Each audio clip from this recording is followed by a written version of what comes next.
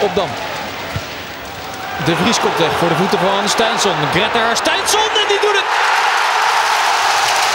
De IJslander Steinsson AZ met 10 man. Dan wordt het verzet van Herakles toch gebroken in de 71ste minuut. Door een streep van Gretter Steinsson.